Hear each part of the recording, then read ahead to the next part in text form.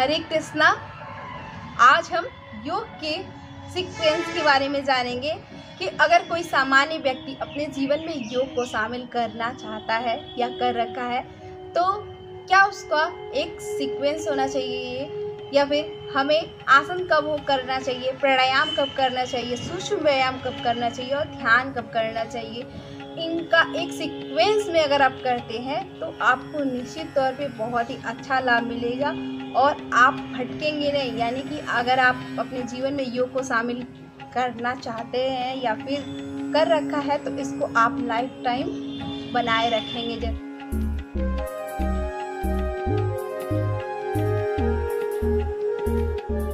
सबसे पहले तो आप किसी मंत्र से शुरू करें। यानी कि या तो आप गायत्री मंत्र से, ओम के उच्चारण से, या फिर कोई भी प्रार्थना अगर आपको करना अच्छा लगता है, जिससे आप अपने आप में एक ऊर्जा, एक शक्ति महसूस करते हैं तो आप सबसे पहले वो प्रार्थना करें।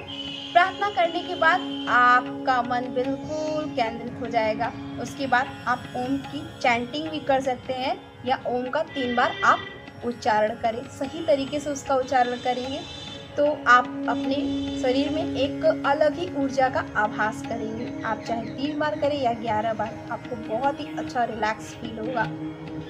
उसके बाद, यानी कि पहले प्रार्थना, ओम का आपको उच्चारण करना है, फिर आप सूक्ष्म व्यायाम करें। आप थोड़ी देर ही करें, लेकिन सूक्ष्म व्यायाम ज़रूर करें। आप पाँच मिनट करें सात मिनट करें, लेकिन सूक्ष्म व्यायाम जब करते हैं तो आपके शरीर में एक ब्लड सर्कुलेशन अच्छा से होने लगता है और उसके साथ आप कोई भी आसन करते हैं तो आप बहुत ही अच्छे से कर सकते हैं।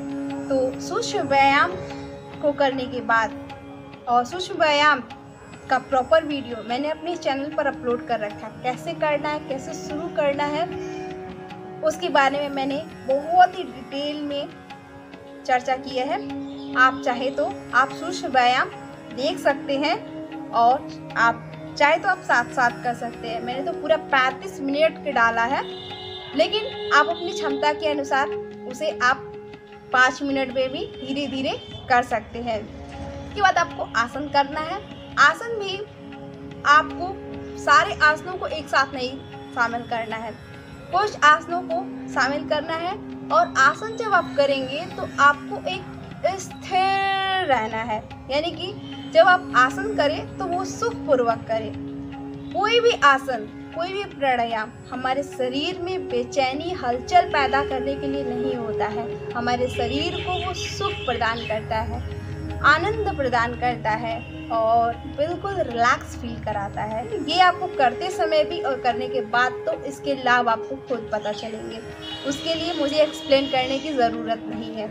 तो उसके बाद जब आप आसनों को करें और आसनों को चुन लीजिए, चाहे आप सूर्य नमस्कार, पद्मासन, प्रज्ञा योग, आप कोई भी आसन को चुन सकते हैं। आप कुछ दो खड़े होकर आसन कर लीजिए, दो बैठ के आसन कर लीजिए, दो पीठ के बल कर लीजिए आसन और दो पेट के बल कर लीजिए। और जो भी आसन करें, उसमें थोड़ी देर बने रहें। इसके बाद अपनी क्षमता के अनुसार आसन करें और उसके साथ आप प्राणायाम करें।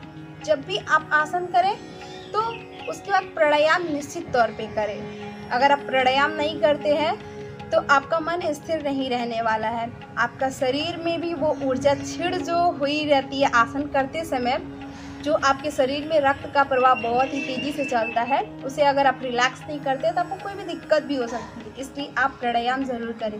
है प्राणायाम को कैसे करना है, इसका मैंने प्रॉपर वीडियो अपने चैनल पर अपलोड कर रखा है। आसनों की भी कुछ वीडियो मैंने अपने चैनल पर चैनल पर अपलोड कर रखा है। आप ज़रूर देखें और प्राणायाम को करने के बाद आप ध्यान की करें। ध्यान के बाद आप सवासन में जाएँ। दो मिनट से लेकर के पाँच मिनट आप रिलैक्स कर सकते हैं। ध्यान भी कई तरीके से होता है। जैसे कि योग निद्रा भी एक तरीके का ध्यान है। और भी ध्यान के बहुत सारे प्रकार होते हैं। और जब आप शवासन कर लेते हैं एक, दो से ढाई मिनट, उसके बाद आप बिल्कुल रिलैक्स फील करते हैं, फिर आप अपनी सामान्य गतिविधि को करने जा सकते हैं। तो लेकिन आप अगर इस सीक्वेंस में नहीं करते हैं तो आप निश्चित तौर पे कुछ टाइम को करके छोड़ देंगे। या आपके लिए ये वीडियो कितना हेल्पफुल रहा कमेंट करके ज़रूर बताइएगा। और आगे के कौन सा टॉपिक होना चाहिए कमेंट करके ज़रूर बताइए। हरे कृष्णा।